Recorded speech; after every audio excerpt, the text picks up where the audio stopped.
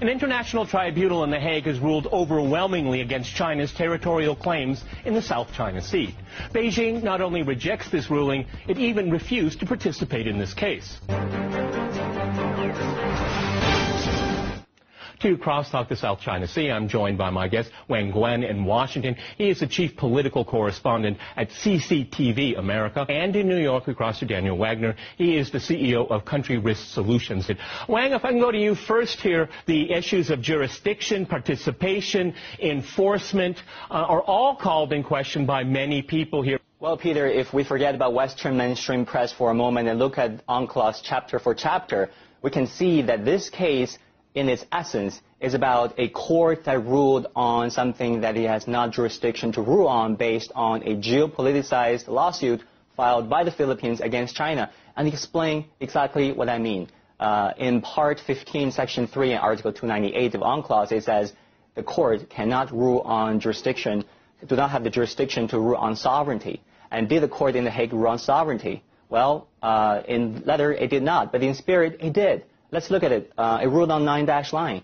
It claimed by Beijing that it has some specific controls of the islands and associated territorial waters. When you delegitimize that line, you delegitimize the sovereignty. So it is about sovereignty. And also it ruled on things like the land features, like the rocks or islands.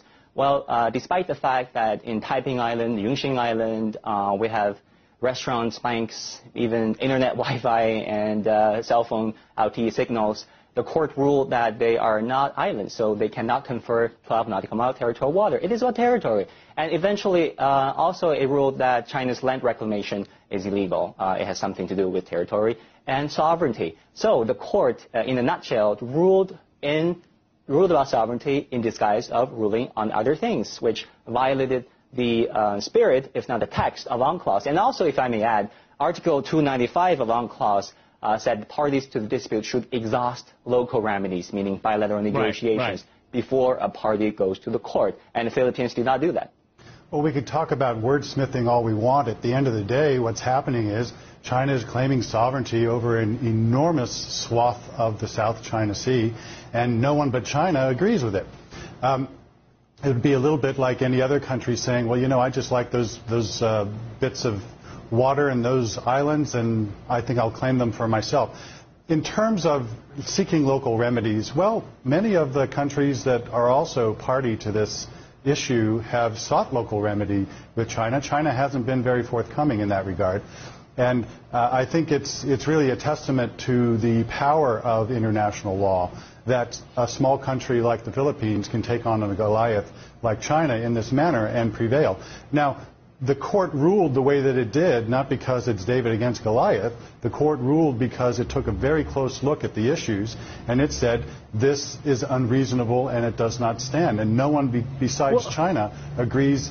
In fact, no Western countries uh, supported China's point of view. There are dozens of countries that supported China uh, across the Middle East, Africa, in Eastern Europe. Well, those countries that support China because they're not sold with the Western narrative of this issue. Western narratives of this issue is very interesting in that they frame the issue very simplistically as if uh, the Philippines won, China nil, and China is not willing to abide by international laws. But I'm not sure how many Western editors and reporters um, read UNCLOS chapter for chapter, word for word. Uh, and then if they did, they would question the premise of their argument, that is, whether or not the arbitration court, PCA, has the jurisdiction to rule, to indirectly rule on sovereignty in the first place. And also, uh, I'm not sure how many um, Western reporters and editors uh, really talked to the legal scholars or quoted them from the other side. Uh, those scholars would point out that many legal principles actually supported Beijing's point of view, such as estoppel, meaning if a country like Vietnam did in the 70s once recognized China's claims, as their Prime Minister Pham Van Dong did, uh, they're not supposed to recant withdraw their argument decades later.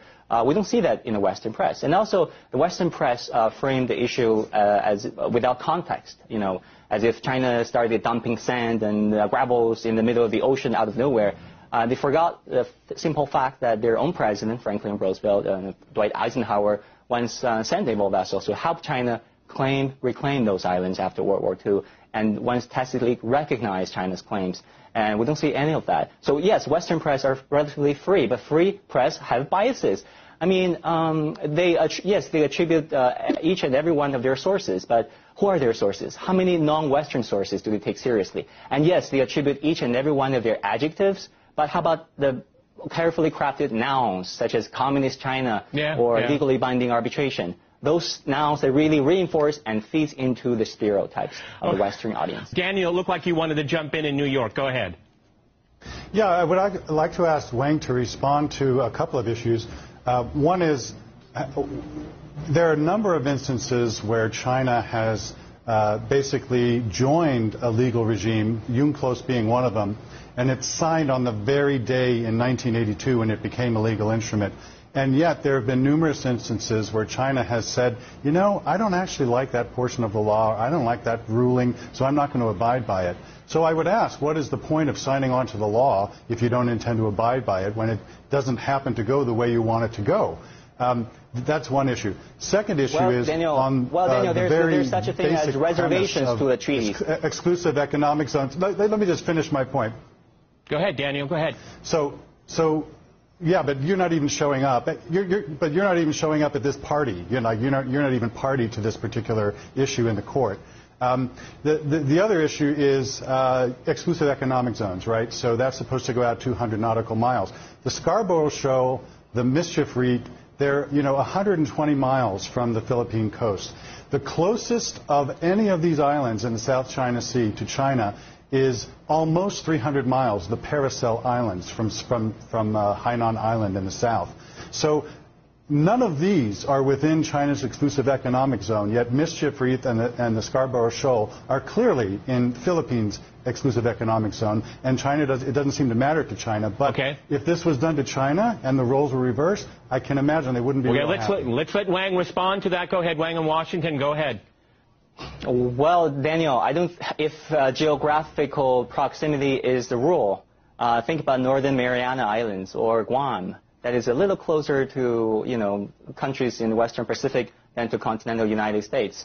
And also, when you raise the point of uh, why China do not uh, attend this arbitration, is because there's such a thing in international law called reservations. Uh, there are all reservations to treaties. China, along with some 30 other Western countries, Denmark, uh, Argentina, the UK, uh, signed this reservation saying that it does not allow the court to rule on sovereignty. That's why China did not attend arbitration in the first place. Uh, some, China is hardly the first country to do that. They have companies in the West. And unfortunately for China, China's not going to look very good because it's going to be perceived as thumbing its nose at international law. I would add one last thing, which is if this ruling had come out in favor of China, I suspect the government would be praising it and praising the body in all of its wisdom instead of criticizing it outright and just sort of well, more or less acting like an intransigent child. Well, that's, well, that's how politics that's how politics works. Uh, okay. Uh, when Vietnam built the first airstrip in the Spratly Island in 1976, Washington wasn't um, too eager to jump to criticism of Vietnam. When the Philippines did it two years later um, by uh, you know, reclaim some islands in the Spratlys. Um, Washington did not jump to criticism of the Philippines. And also, when the Philippines um, grounded the old naval vessel in the, uh, the Second Thomas Strait or Yuan Washington again did not uh, jump to criticism of its ally Philippines. Uh, President Obama even explicitly admitted the containment strategies in an interview with The Atlantic this April. He said, and I quote word for word, he said, if you look at how we've operated in the South China Sea, we have been able to mobilize most of Asia to isolate China in ways that have surprised China and frankly have very much served our interest in strengthening our alliances. So in using politics, um, military deployment, and international law, um, those issues, if those are not uh, getting up against China, I don't know what is. It really isn't about the U.S., though. This is really ultimately about what kind of country China wants to be perceived as, what kind of global leader it wants to be perceived as in the global community.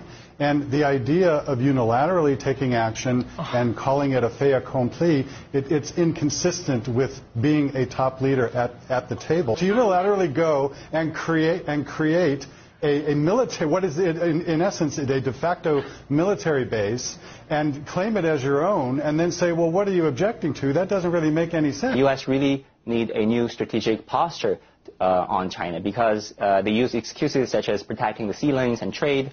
But if you look at those uh, facts, uh, China and the ASEAN countries traded quite all right. Uh, as the largest trading nation in the world, uh, China is five trillion dollars worth of trade going through South China Sea every year. And also, if the Asia pivot is about security issues, what exactly are those security issues? On North Korea, I mean, North Korea hasn't been able to pull, pull off a real existential threat. Um, on terrorism, I mean, ISIS and Taliban are half a world away. Yeah. And if on non-proliferation, most Okay. nuclear warheads All right, are gentlemen. Eastern Wang, Europe I have Western to Europe. I have to jump in here. You raise very important questions that we can't answer right now. Many thanks to my guests in Washington and in New York, and thanks to our viewers for watching us here at RT. See you next time, and remember, crosstalk rules.